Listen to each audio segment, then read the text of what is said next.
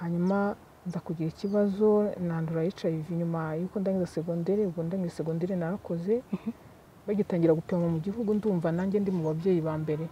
Batangiye imiti nayitangiye demiri katire ubwo mwe mwayanduye ryari? Wenda se nimba atari ibanga. Kugira ngo wenda n'uwo mwana urimo uduteze amatwi muri aka kanya cyangwa uwo mujene. Wenda nawe aho hantu atazanaha- atazanahagwa. Bwari ubuzima bu- ese byari ukubera iki? bwari ubuzima bwari bwate nyine bwari ubuzima bumeze bute. Eh, tubwiye ko hari ahantu wigeze kugera ukananirwa kwiyakira eh, bigatuma n'imiti uri buze kuza kuyihagarika umwaka wose. Umwaka wose. Wari waramaze gushaka? Njyewe intwaro narwanishije kugira ngo nshobore kuba mpagaze aha mvuga uyu munsi. harimo umwana wo hagati ni we ajya anyibutsa. Akambwira mama ya saha yageze. Oh. Kubera ko iyo ufite HIV Mm. ikintu cya mbere tuvuge uvuye kwa muganga baragupimye bahise bakubwira bati urwaye sida. Ni ibintu bishyashya. Muri iyo myaka ya za bibiri na gatatu bibiri na kane ntabwo ari ibintu byari byoroshye. Yego n'abantu kukumenya yuko umuntu afite HIV byari byari urugamba. mwebwe urwo rugendo rwari urugendo rumeze gute? Iyo nicuza mu buzima bw'ahashize. Mm. bijya binambabaza cyane.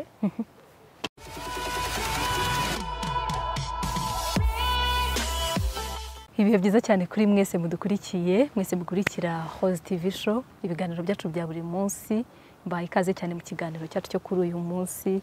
Ah, mbifurije amahoro y'Imana aho muherereye hose mbifurije ibihe byiza mbifurije gukomeza kugira amahoro yo mu mutima.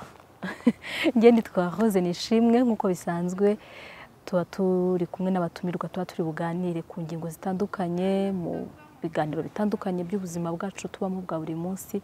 Ni muri urwo rwego kuri uyu munsi nabwo turi kumwe n'umumama mwiza tugiye kuganira. Umumama mwiza ni ukuri. Si byo ra? ni muri kubibona mwebwe. Ni gake tuganira n'abamama bakuru. Ntabwo uri mukuru cyane ariko ni gake tuganira n'abamama bakuru. Ni umugisha rero kuba tubafite uyu munsi. Eh, tubahaye ikaze kuri Rose TV show. Eh, murakoze kuma ikaze Mm, Eh, banyita antoinette musabeyezu mm, ndi umumama ndubatse mm, mfite abana batatu n'umutware. Mm, nishimiye ku butumire bwanyu. Mm. Eh, hano kuri eh, kuri Rose TV show. kuri rose tv show. Mm, eh, kugira ngo dukorane ikiganiro yego. ku byerekeranye Mm, n'ubuhamya mm, mfite. Mhm, ngomba gusangiza urubyiruko. Ku myaka yanjye nifuje ko iyo kiganiro nagiha urubyiruko ni mesaje nziza mm, ivugabutumwa rirambuye Mm. rigari mm, rigera ahantu henshi hatandukanye ku rubyiruko mu gihugu cyanjye kuko nkunda igihugu cyanjye cyane. Ku myaka yanjye rero numva umurage neza asigira abana banjye rw'urubyiruko ari impanuro ni ku mutwe w'ikiganiro. Navuze ko ari impanuro ariko hari amagambo atatu iri- iritangira rivuga gutaguza mm, ndataguza mm, nzagenda nzagerayo.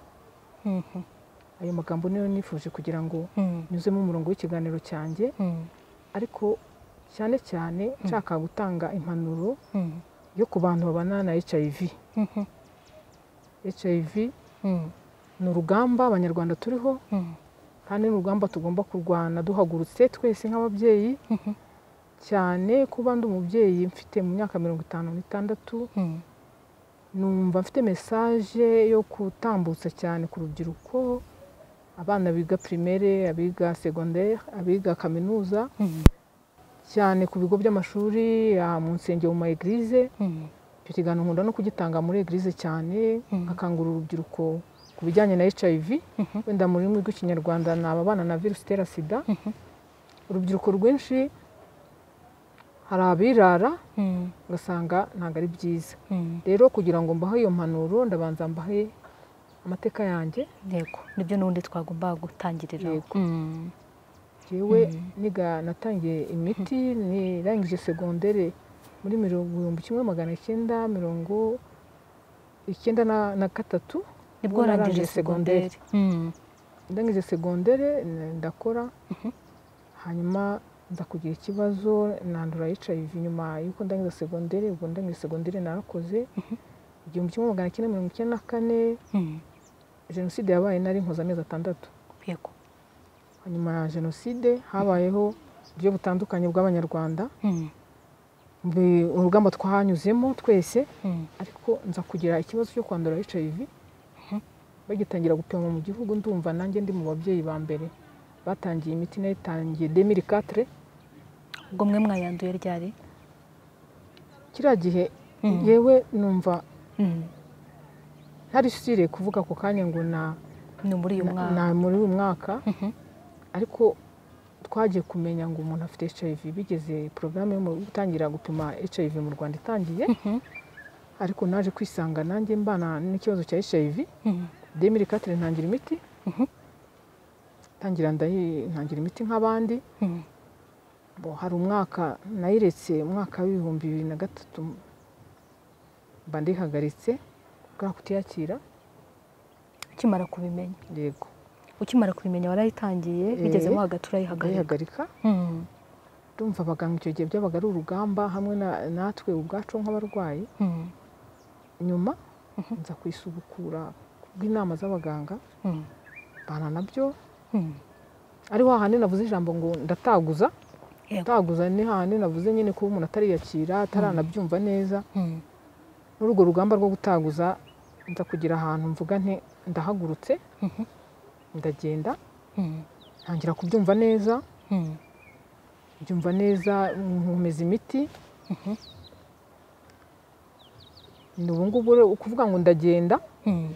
Kugenda n'ubu mpagaze hano ni ubu nshobora gutanga ikiganiro nkatanga mesaje ku rubyiruko Mm. kugira ngo bashobore kuvuga bati mbese uriya muntu niba yatangiye imiti demiri katire Mm. akaba ari umubyeyi Mm. kugira ngo tubamenere amabanga twagiye dukoresha kugira ngo tugere kuri izo ntego mbe ndahangaha ndimo ntanga mesaje ku rubyiruko mba ndi kubaha ivugabutumwa ryagutse kuri iyo HIV. Ni ukubera yuko hari urugamba twanyuzemo uburyo ki twagiye twanga imiti ubundi tukongera tukabyuka ubundi tukagira gute Mm. ariko byose twakomeye twagiye dukomezwa no gusenga Mm. ubujyanama bw'abaganga Mm. ariko ikintu nabwira urubyiruko cyane kuri HIV ni uko bagomba kuba maso ba- ntibitinye bakagerageza kugenda bumva inama z'abaganga nk'uko twabigenje bakagenda bashobora kugenda bakunda imana no gusenga cyane kuko gusenga na byo birafasha Mm. rero mesaje ngira ngo nk'urubyiruko ni ukuvuga ngo ikintu nyamukuru kirimo ni uko umuntu agira imyaka mirongo itanu n'itanu kungana nta kibazo wamubonaho ashobora gukora bisanzwe ashobora kumva yagutse muri we ashobora kumva yarabyaye agaheka afite abana afite ushobora kuba ufite n'abakwe ushobora kuba ufite n'abakazana Mm. ariko ikintu cya mbere kiba gitumye umuntu atanga mesaje ni Yego. gukomeza urubyiruko cyane birinda ibiyobyabwenge Mm. birinda ababashukisha hari abantu twita izina Mm. nkunda kurishyira ntere paranteze ngo ni abibagiwe imyaka yabo Mm. abibagiwe imyaka yabo ni abapapa bakuze bita ba dadi shuga dadi na shuga mami mu by'ukuri bakagombye kumva ko hari bakadufashije kwigisha urubyiruko kugira ngo badufashe kuruyobya Yego. Birababaza cyane iyo umuntu mukuru ashuka umwana Mm. kandi birahari ntabwo ari ukuvuga ngo ni ibintu duhimba birahari ariko bakagombye guhaguruka bakadufasha kurwanya urugamba Mm. rwo kurinda abana bacu HIV ahubwo bakaba hafi bakabagira inama. Uh, wenda mbere y'uko tujya no kubagira inama no kugira inama aba bajene urubyiruko n'ibiki n'abandi bantu badukurikiye muri rusange wenda harimo n'ababyeyi uh, tugarutse ku rugendo rwanyu muri rusange.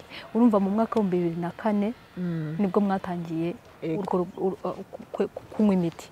Ushobora gusanga wenda mwari munayimaranye iminsi imyaka runaka mutabizi. Yego. kuko wa mugani urumva ntabwo muzi hayaruma igihe iyo HIV yabereye. Mm. ese mwayanduye mwari muri kumwe n'umugabo mwarabanaga mbese muri urwo rugendo rwanyu ntabwo mwatubwiye? Watubwiye ko ufite umutware? Eh, uwo mutware ni we okay. mwatangiranye iyo myaka yose ni we mwajyanye muri urwo rugendo. Mbese n'urugendo rumeze rute ku muntu wubatse. Eh, rwakubereye ntabwo njye nabonye n'umutware wanjye. Eh, twese twanduye. Yego. Ariko mbere yo kwandura Mm, hari ijambo rivuga ngo abubu. Ntabwo impamvu umuntu w'umubyeyi aba ahagaze hano agatanga iki kiganiro impanuro mm, ni ukuvuga ngo niba n'abubu kera babagaho ntabwo ari abubu ngubu. Ni ukuvuga ngo kera no- washoboraga kuba hariho n'abana kera batashoboraga kubahiriza umuco ijana ku ijana. Mm, mm, ariko mu by'ukuri Mm. hari inzira umuntu acamo ari umujene niyo mpamvu nanjye nafashe nahagurutse nafashe iya mbere yo gutekereza ngo hari abana mbona nshobora kuba nanjye naranyuze mu gishuko nk'icyo. Nkavuga nti oke uko nazamutse. Nshobora gutanga impanuro nkahana wa mwana kuko nanjye impamvu muhana ni uko nzi ko hari ahantu yahakura ingeso mbi. Yego yego. Oke ntabwo igihe nashatse umutware kubera ko twari duhanyije ikibazo ariko mbere Mm. mbere gushakana Mm. nari mfite ikibazo. Yego Eh, akaba ariyo mpamvu nafashe iya mbere kugira ngo mpaguruke ku rugamba. Nshobore kure wa mwana ashobora gutandukira ku mpanuro z'ababyeyi ahubwo agaruke mu murongo. Yiyumvire yumve yuko bishoboka ko kujya mu biyobyabwenge kujya mu kudasenga imana kwiragiza imana ku mpanuro z'ababyeyi. Mm. akenshi abana bagomba kubyumva kugira ngo bigire umusaruro kuri bo ku babagana no ku bazabakomokaho n'umuryango mugari wabo. Yego. Eh, ni ukuvuga mwebwe impamvu mwafashe iya mbere ni uko hari ubuzima namwe mwabanje kunyuramo Eh, butari bwiza. butari bwiza. Yego. Eh. Ku buryo wenda ubwo nyine ari umutwaro ku- kubana iyo umwana agiye wenda se nimba atari ibanga. Kugira ngo wenda n'uwo mwana urimo uduteze amatwi muri aka kanya cyangwa uwo mujene wenda nawe aho hantu atazanaha- atazanahagwa. Bwari ubuzima bu- ese byari ukubera iki? bwari ubuzima bwari bwate nyine bwari ubuzima bumeze bute. Eh, ubuzima hari uburyo ki abana akenshi afite n'ababyeyi bishoboye? Ntabwo nigeze mvuka mu muryango ukennye. Mhm, oya njye ntabwo nigeze mvuka mu muryango ukennye. Akenshi eh, mu muryango wanjye wari wishoboye papa wanjye yari yarize. O, mama ntabwo yari yarize ariko twari abantu bishoboye cyane. Mhm, ahantu umuntu ashobora kuba afite minerivare ku ishuri afite ubushobozi. Aho hantu kenshi umwana benshi abana b'abakire iyo ufite byose akenshi hari igihe bigu- bigutera gutandukira ukajya mu irari ry'ibyo mhm, ntuwuzuze inshingano z'ababyeyi bagusaba. Ntabwo bitewe n'ubukene ahubwo akenshi abana benshi bafite ubushobozi.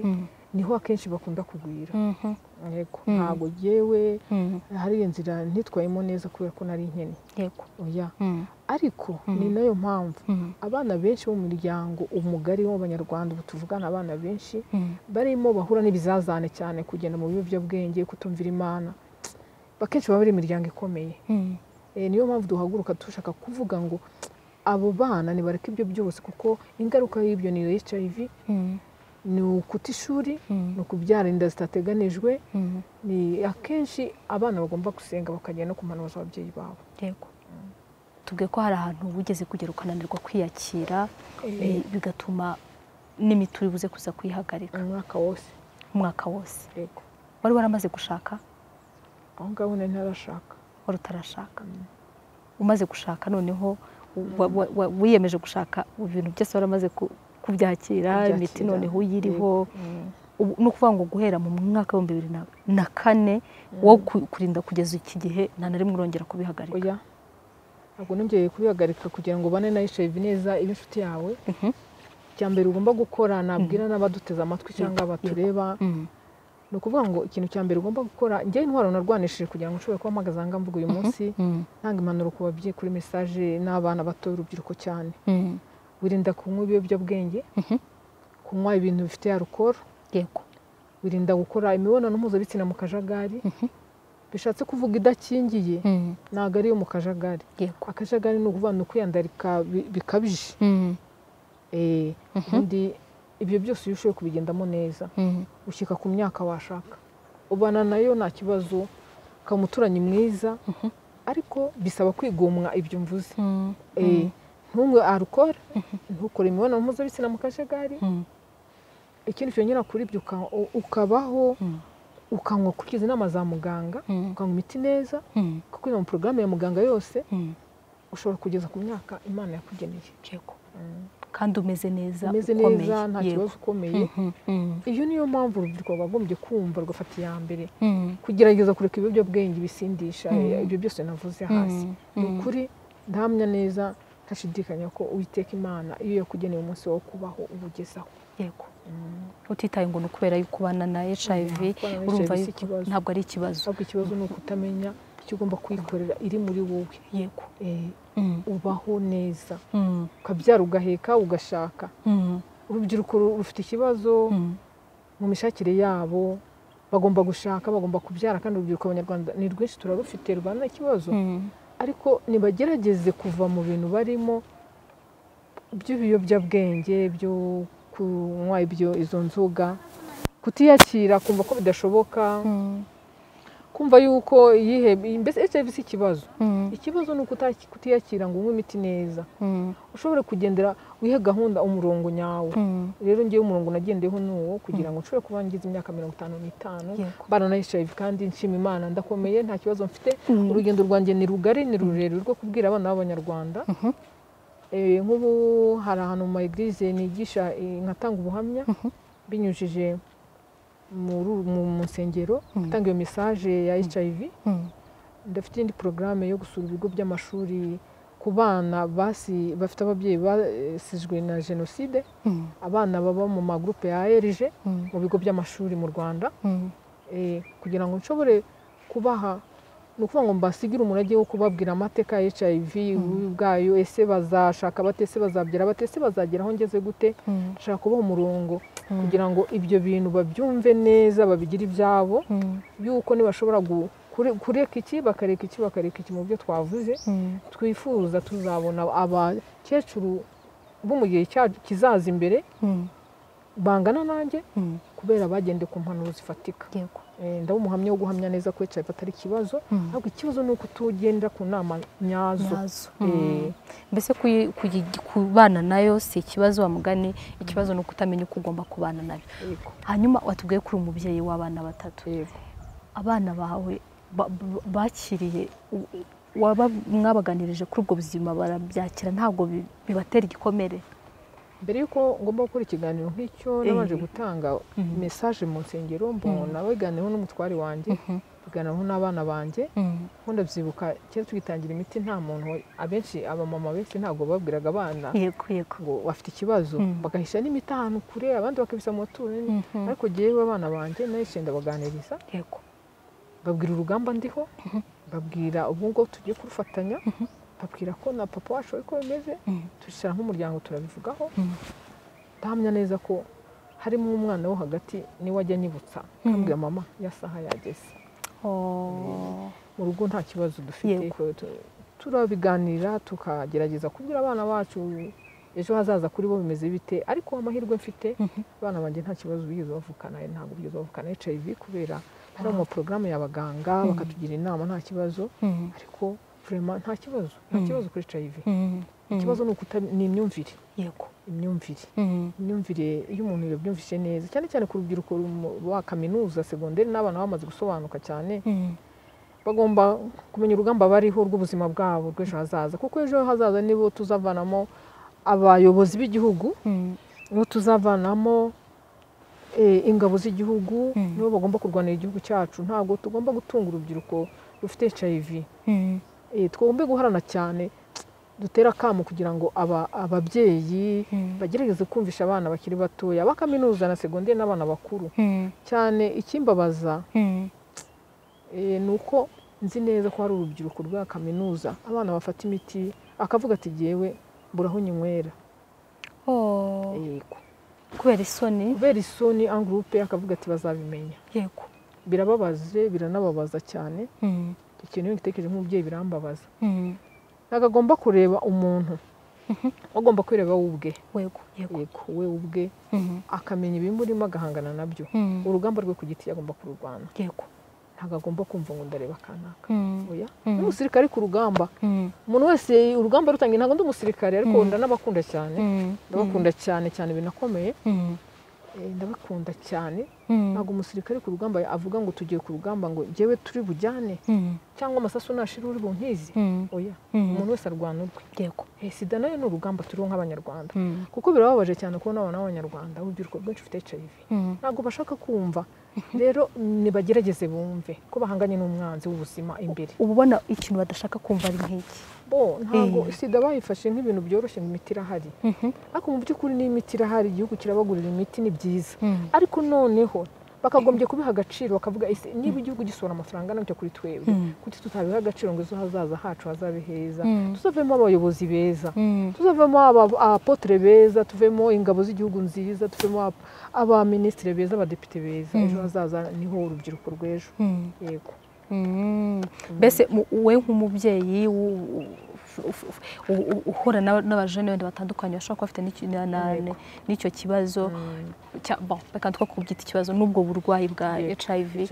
Eh, iyo ubabonye uba ubona bafite ukuntu ba- bameze nk'aho baregeje wumva Eh, imiti irahari nta nidushaka twandure nidushaka tugire gute ni byo bigu- bigutera agahinda birababaza cyane kuko Eh. hari imvugo zitumvikana Mm. umuntu zimva nk'umubyeyi kumva urubyiruko hariya akaririmba agahanga akavuga ni byiza ariko yagiramo akajambo akavuga ngo na myaka ijana Mm. kiriya kintu ntabwo ari cyiza cyane ku rubyiruko kuko ubona abana bararegeje ngo imiti irahari Mm. nta kibazo imiti irahari kuko tuyifatira ubuntu igihugu kidukunda Mm.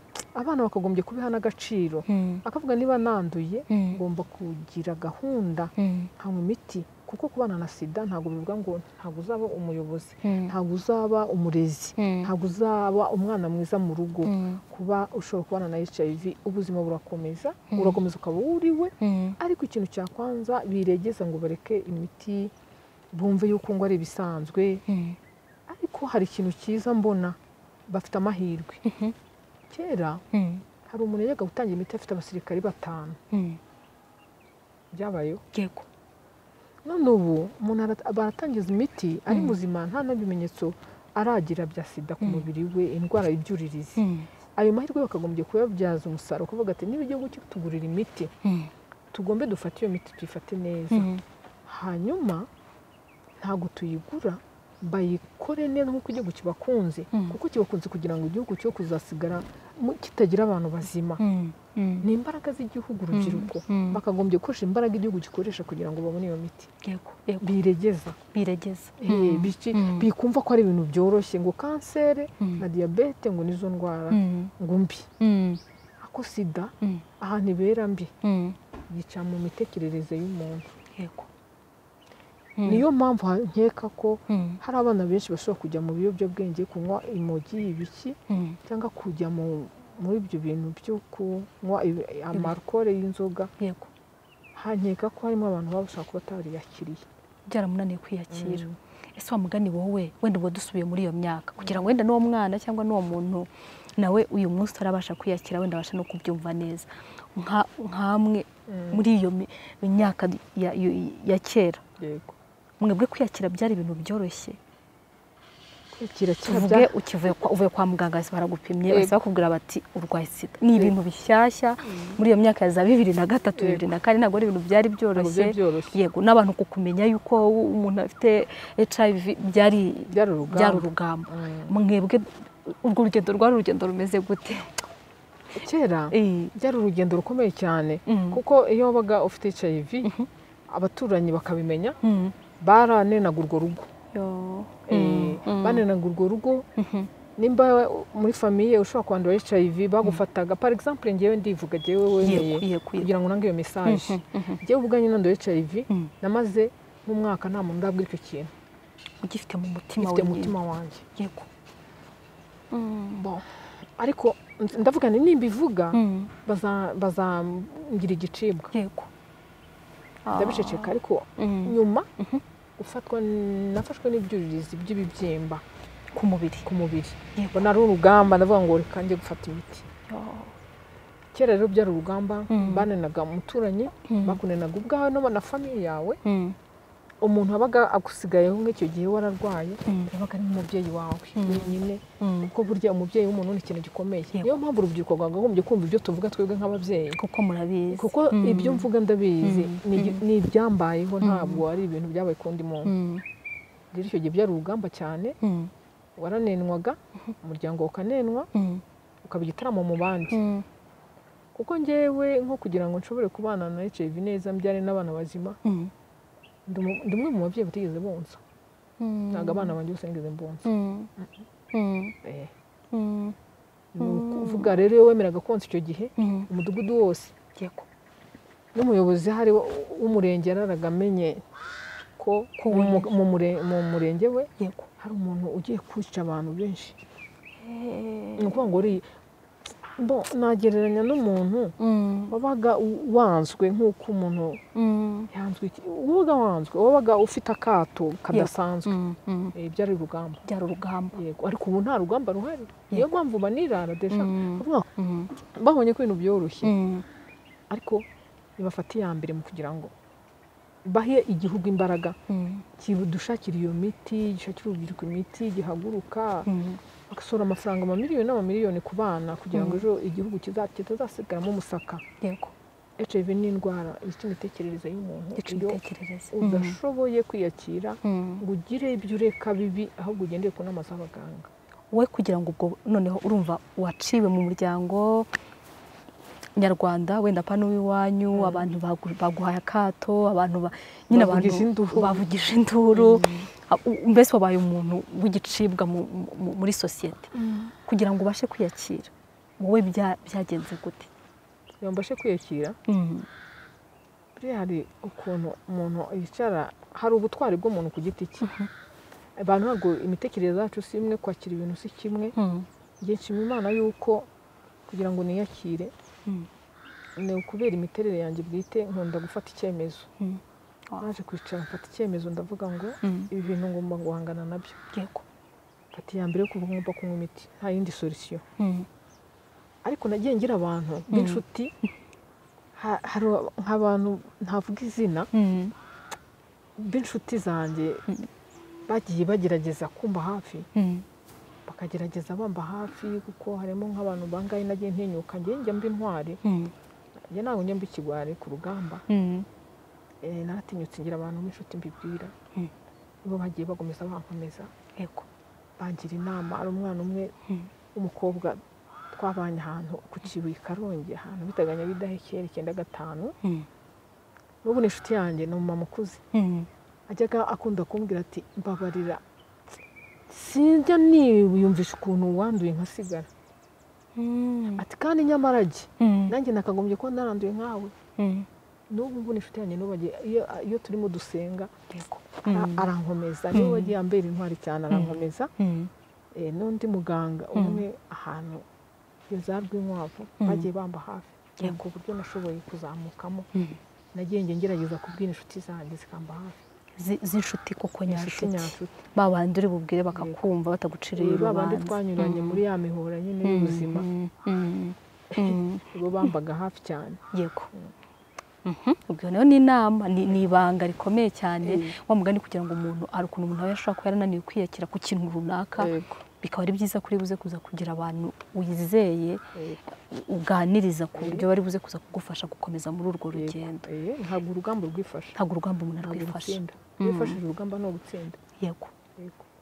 Ah, ndibaza ndi gusubiza amaso inyuma nki- nkibaza muri iyo myaka ya za bibiri njye nari nkiri mutoya Mm. ariko nzi yuko abantu abantu babaga bavuga uyu muntu wenda afite HIV Mm. byabaga ari ibintu bi- bikomeye cyane kuko abantu yanagusuhuzaho uramwanduza, Ku gikombe. Eh, ku gikombe eh, ntanywereho. Eh, umwambaro ntibishoboka. Yego.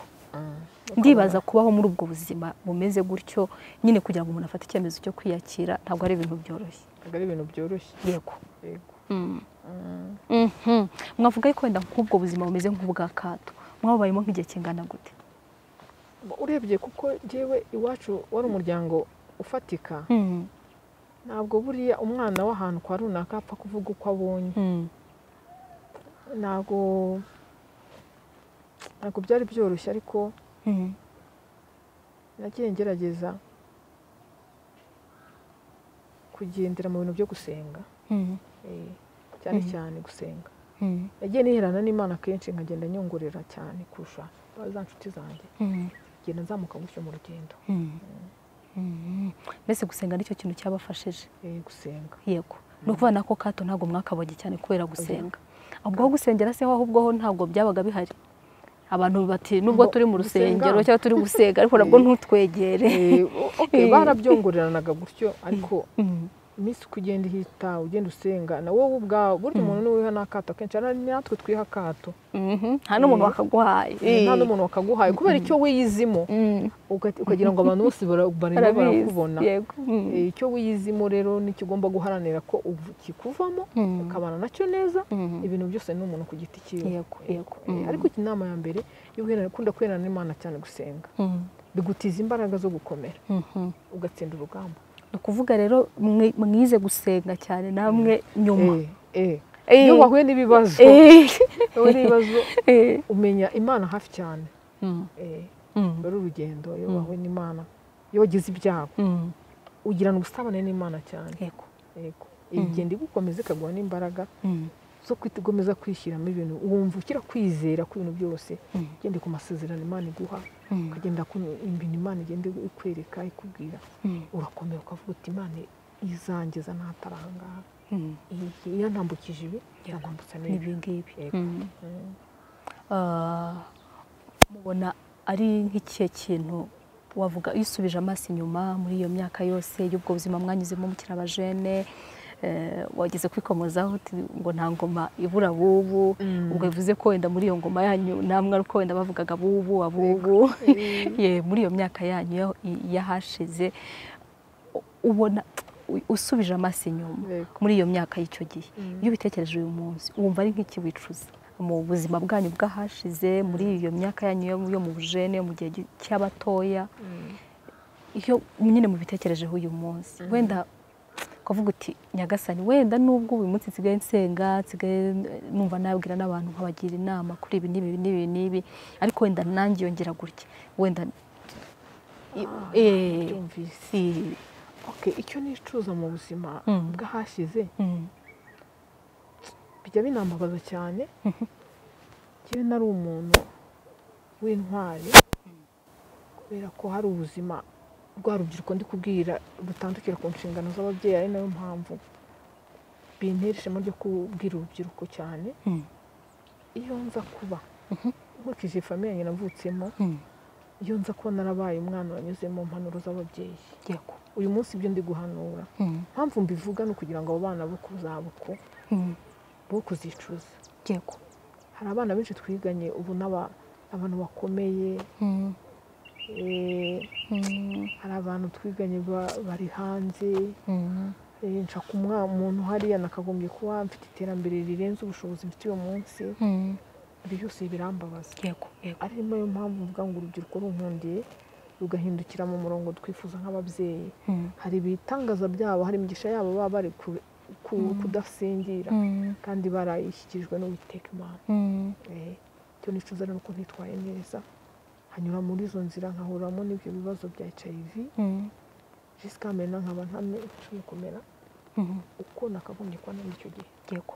Eh, nicuza ko hari ibyiza ntako hari inzira nziza ntanyuzuyemo hari impanuro nkumvise mm, hari utuntu twagiye ibi amagurupe Mhm. ibintu nk'ibyo mm. ntabwo ari byiza kuko bikubuza kujya gusingira umugisha wawe. Oh. Mufite impamvu ikomeye cyane yo ku- yo kubwira abandi yo kubwira abajene muri aka kanya. Mm, mm, abashinda bakunda cyane cyane cyane kuko mm, mm, ngewe nzi impamvu mbakunda nzi impamvu mbahanurira nzi impamvu Mm. nifuza ko bagomba kuba urubyiruko rwiza rw'ejo hazaza kugira ngo basingire imigisha yabo. Yego. Basingira imigisha yabo.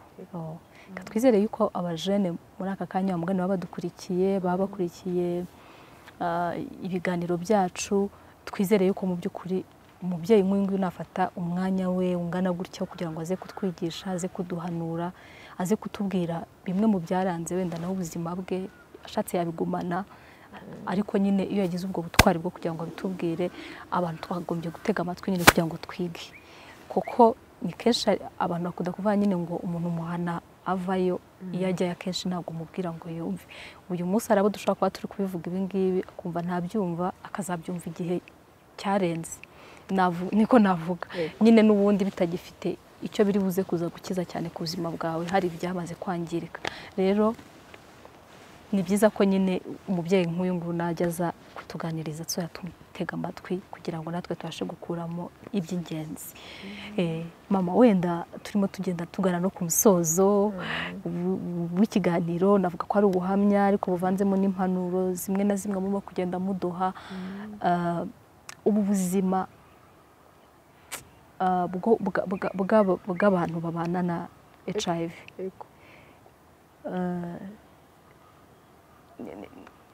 ni- ni- ni ni ikihe kintu wenda umuntu utara utabana na yo yakorera umuntu azi neza yuko wenda abana na yo ku buryo byamufasha kugira ngo abashe kubana ku- kubana na yo mu rugendo rwose kandi adakomeretse. Eh, okay. ku rubyiruko cyangwa n'undi wese abana na hiv Mm. ikintu namugira inama kugira ngo abane na yo neza kandi ashobore gushyika ku myaka imana ye runaka yamugeneye yego imyaka y'ubukure ni ijana imyaka ijana y'ubukure irashoboka cyane kuko hari abantu b'ababyeyi benshi tuzi muri iki gihugu bafite imyaka ijana Mm. Mm. ikintu cya mbere namugira inama yo kwitwararika ni ukumva impanuro y'umubyeyi we ku giti cye yego iba nziza akenshi Mm. umubyeyi umwana yumviye umubyeyi yamubyaye Mm.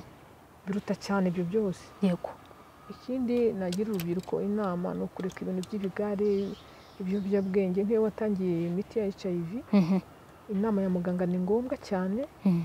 kunywera imiti ku gihe ku masaha yagenwe na muganga Mhm. kureka ibiyobyabwenge Mhm. kureka ibintu byo bisindisha ni byiza cyane iyo wiporogaramu ukavuga uti ubuzima bwanjye nzabutwara gutya hari ibintu kugira ngo ubone na hiv neza hari ibintu ugomba kureka. Ugafata icyemezo kuvuga ngo ndabiretse Mm. ibyo biyobyabwenge ibyo kutubahiriza inama ya muganga ukayigenderaho neza Mm. hamwe no gusenga. Yego. Eh, gusenga njye ni intwaro ifasha buri wese mu mutima we kandi ndabizi neza. Gusenga na byo bizamo gusenga imana cyane bigufasha kugira ngo uzashobore kugenda urugendo rurerure. N'urubyiruko rushobora kugira ahantu runanirwa cyangwa se n'abapapa n'abamama bubatse ingo. Gukora imibonano mu kajagari ntabwo ari byiza ku bantu babana na hiv Mm. oya. Mm. uri porogaramu Mhm. ugashyira ibintu kuri orere kandi ibintu bikagenda neza. Mm. kubera ko sida ni inshuti nziza. Sida ni nk'umuntu waba uri muri wowe. Yego. Sinzi ukuntu nabikubwira. Ni ikintu ugendana. Murahorana buri munsi. Mushobora mujya inama rero y'ubuzima. Iyo umutwe ukuriye se si unywa paracetamol. Cyane. Iyo ubizi se nyine ko isaha yo kunywa ikinini igeze Mhm. urakinywa Mm. bikagenda neza. Mm. izo ni impanuro naha abantu ibintu byo kwikontorora ni byiza. Ushyika ku myaka runaka. Mbese kwikontorora hanyuma noneho ku muntu ubana na na ndi umugabo we cyangwa umugore we. Nk'umubyeyi wawe. Cyangwa n'abandi ba- ndi kwibaza wenda nk'umuntu w'inshuti y'umuntu ubana na HIV we nyine uburyo bwiza bwo kumubanira kugira ngo umufashe kugira ngo urwo rugendo rugende arugendemo neza. Yibana. Yaba yibana yaba abana n'abandi n'abandi bantu mu rugo ariko nyine inshuti ze zo ku ruhande kugira ngo zibashe kumubanira. Ese ni ubuhe buryo bwiza zakagombye kumubaniramo kugira ngo nyine ba- urwo rugendo rugende neza? Aramutse we afite hiv bagenzi be batayifite Mm. ni urugero. Mm. cyangwa se n'inshuti ze si na ngombwa ko mugenzi wawe wamenya ngo afite hiv ikintu cya mbere kugira ngo inshuti zawe zigufashe zizi neza ko ufite ikibazo. Mm. icya mbere imyitwarire yawe. Mm. uko ugaragara mu myitwarire ya bagenzi bawe uko bakubona Mm. niba bashobora kubabona ubabajwe n'uko urwaye. Bakabona ubabazwa buri gihe n'uko hari ikintu cyakubayeho kidasanzwe. Ikintu uba ugomba kumva ugomba gukora kugira ngo bakwibonemo ni uko hari ibintu ugerageza kubahiriza urugero. Mhm. ubu ngubu nshobora kuba mfite inshuti yanjye nkavuga ntujye unyibutsa kunywa ikinini yego. Njye ndibagirwa. Mm. jya unyibutsa iyo saha yagera ndakamvuga ati reka mpamagare mugenzi wanjye mwibutse yambwiye ko igihe bo bakubona nk'umuntu utabahisha ushaka kugira ngo nabo bamenye ububi bwa cya kintu ugendana na cyo bamenye uburemere gifite kuko uba utagerageje kubahisha. Ubu babanira neza. Bahora ba- bakora atansiyo yo kuvuga ngo Mm. uriya muntu nibutse kiriya kintu nanjye kitazambaho. Mm. ni bwo uba uri kuba imbuto nziza kuri bagenzi bawe Mm. utabahisha amakuru y'ubuzima bwawe ukabasangiza bituma umuzima yirinda kurushaho. Yego. Ariko iyo ugiye wihisha ushobora no kuzanduza mugenzi wawe kuko wabihishe. Yego. Imbuto mbi muri sosiyete ya hiv yego. Wa mugani uvuze icyo kintu cyo kwanduza. Iyo wumvise nk'umuntu arabizi neza ko afite HIV hanyuma aka- akayanduza undi muntu kandi navuga ko ari ku bushake. Kubera ko nimba yakoze imibonano mpuzabitsina idakingiye kandi abizi neza yuko arwaye uriya muntu umufata gute? Uriya muntu?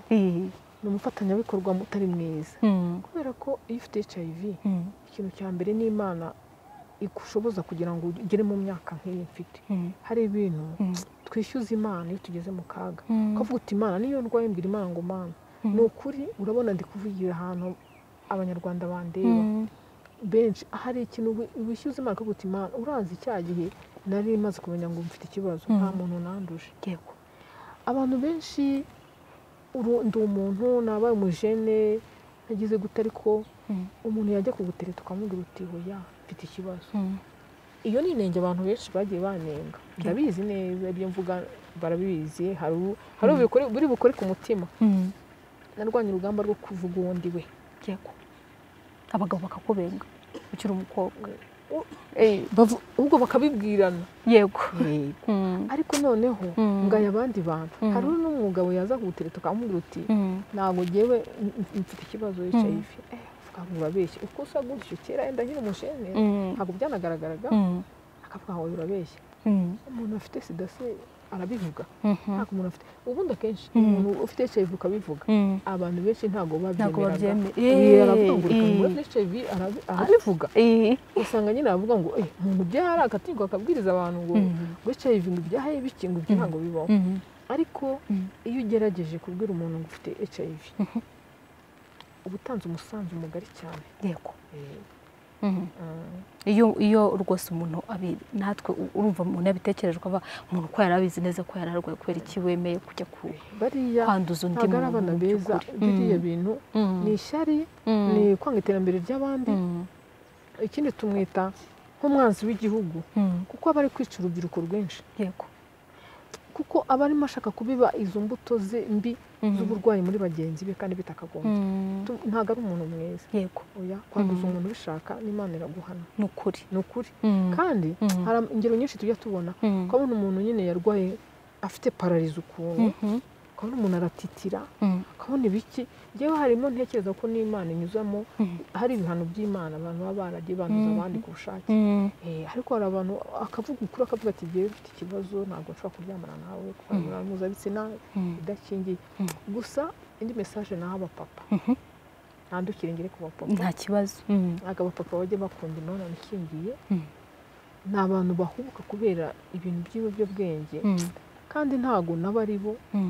Sinzi imiterere yabo iragoye. Mm. nawe azinduka mu gitondo atagiye muri iyo gahunda ariko kubera imiterere yabo Mm. bakagombye kujya bagerageza gukora imibonano mpuzabitsina ikingiye Mm. kugira ngo byo kugira ingaruka ku mu ngo zabo. Yego. Rero mesaje nayitanga iyo mesaje wayitanga ku bapapa.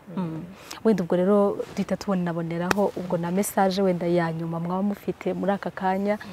Ya ubwo ni haba ari ku bajene yaba ari ku bamama yaba ari ku mbese ku bantu muri rusange ubutumwa nyamukuru wenda mwumva bundi mu byo tutavuze birashoboka ko hari byinshi wenda tutanavuze Mm. ariko iyindi mesaje mwumva nyine mutatahana ku mutima mutabwiye abantu iyihe mesaje nta- ntatahana iri ku mutima wanjye Mhm. ni ukugerageza ku- kubwira abantu b'ingeri zitandukanye bakunda guhurira ahantu mu mahuriro yo kwishimisha Mhm. Ntabwo twabuza abantu kwishima kuko urabona nagiye ntembera nkunda gutembera ahantu gake gake nko mu mujyi wa kigali Mhm. hari amakaritsiye meza ugeramo ukabona u rwanda ni rwiza Mhm. ukabona isi iraryoshye ukabona Mhm. ubwo na yo ndi kuvuza ngo hari ikintu gihindura umuntu nanjye nakagize ngo nyanga umujene Mhm. kubera ko hari amakaritsiye kera twajyaga ducamo twiga amasegonderi hano ushobora kugera nahagera nkahayoberwa vrema urubyiruko kugira ngo rufate ingamba zo kugira gute gukora imibonano ikingiye. Cyane cyane urubyiruko nirwo mpa mesaje kubera bafite ibintu byiza bibarangaza. Mhm. Mhm. hari ibintu bidasanzwe. Ngenda ntembera nkabona nkavuga nti naho imbaraga z'imana. Mesaje ndi Mhm. gutanga ku rubyiruko cyane. Buri muntu wese aziyumvire ku giti cye ku muntu ufite hiv ni we ni we mpa mesaje cyane. Ku muntu wiyumva ku mu- mutima wiwe afite hiv anyumva agerageze kwegerana n'imana cyane. Mesaje ajye yiherana n'imana ku giti cye abwire imana cyane kandi izamwumva kandi izamugirira neza. Mhm. Mm, kuko imana ijya ishobora kuba hafi y'umuntu Mhm. ufite icyo kibazo uko abenshi barabihisha mesaje mpa urubyiruko ni ukujya biherana n'imana cyane kuko hari ukuntu imana igutiza imbaraga zidasanzwe muri wowe zo kumenya inzira wacu. Imbaraga zo gusenga. Imbaraga zo gusenga. Imbaraga zo gusenga akajya mu- akahirana n'imana mu butayu bwiwe mu butayu bw'umuntu ni mu mutima we. Mhm. Eh, akihirana nawe cyane kugira ngo imbaraga niyo yonyine imutiza imbaraga zo gukomerera. Muri ubwo burwayi. mama wakoze cyane. Mm, mwakoze cyane. Ariko eh, nanone nsoza ikiganiro nifuza kugikomeza. Ariko ndashima imana cyane yuko ijya ibigenza neza ijya ihindura ibidahinduka mm, ijya ishobora kuduha inkoni twitwaza mu gihe hari umu- umukozi w'imana ndamukunda yitwa isirayeli mbonyi. Mm, ndamukunda mu ndirimbo ze avuga ngo imana imana donc hari ahantu avuga ngo nimba ari ngo icyambu. Tujye tuba ibyambu bya bagenzi bacu. Yego uriya mwana ndamukunda cyane. Icyambu rero nanjye ni indirimbo inkora ku mutima. Tujye tugerageza kuba ibyambu ku bantu runaka. Mm. tugerageze gutanga mesaje ku rubyiruko kubera hiv ntabwo ari nziza. Kugira ngo igihugu cyacu ejo kizagira abayobozi beza. Mm. murakoze. Murakoze cyane. Eh, murakoze cyane. Reka twige kuba abantu beza ku bandi twige gutanga mesaje nziza ku bandi. Kandi ni ukuri mumfashe dushimire uyu mubyeyi waduhaye umwanya we kudusangiza urugendo rw'ubuzima bwe. Hanyuma kandi akanatugira inama z'ukuntu umuntu ashobora kwitwara mu gihe yaba afite ikibazo afite ubwo burwayi bwa HIV wenda nuko ari bwo twavuzeho n'ubundi burwayi bwose muri rusange ariko impamvu twabuvuzeho mwayumvise hari impamvu yari ikomeye kandi yatumaga tugomba kubiganiraho. Reka twizere yuko eh, abumva nyine bayumvise abafite icyo bakuyemo abafite icyo bakuyemo kandi koko ni ukuri mureke du- du- du- du- duharanire kuba abantu bazima ba nyine urubyiruko rwiza ruzatuma ejo tuzaba dufite ababyeyi ba- bazima bafite ubuzima buzima Eh, kandi bazava muri twebwe uko byagenda kose. Yego eh, wakoze cyane rero imana iguha umugisha kandi bakomereze uyu murimo mwiza mwatangiye kandi nizere yuko rwose bizakomeza bikagera n'ahandi ku bandi bantu benshi ku buryo mesaje yanyu izumvikana mu ahantu hatandukanye. Imana ibigenze neza Eh, kandi umugisha. Amen. Mwakoze cyane kubana natwe bayo.